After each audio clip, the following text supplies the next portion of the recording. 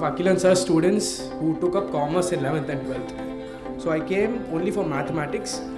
And uh, one thing I would like to stress here is the conceptual teaching. So I think that is a very important thing that is being imparted here.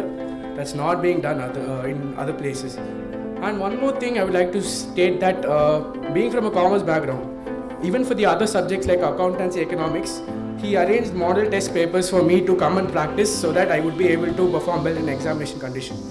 So I think that's a really great thing because I don't think no one else would have done that because he was not involved in economics or accountancy teaching.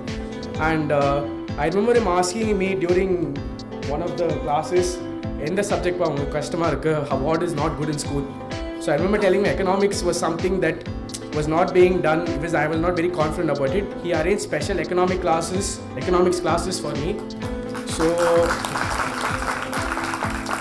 so that I think is something really wonderful, and I would like to like my success is largely down to his dedication and hard work that he put. Uh, I scored 481 and uh, even though my max paper was tough, I did manage to score 95 in it. In like in 2016, it was the most uh, toughest paper we had, so I did score well. And uh, this is not uh, this is because of Sir's coaching. Thank you, Sir. Say about Akilan sir, he's more than a teacher to me. He, he's, he's just like my another friend.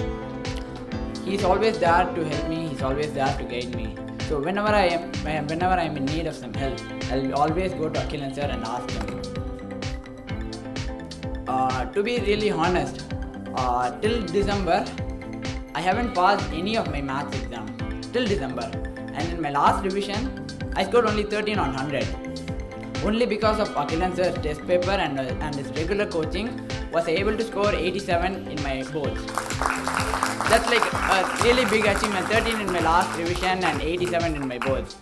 This is only because of uh, Akilan sir and uh, I, am, I am a student uh, from the 8th standard. So one piece of advice to all my juniors, uh, just follow the path laid down by Akilan sir. It, it will make you reach your destination without ease. Thank you.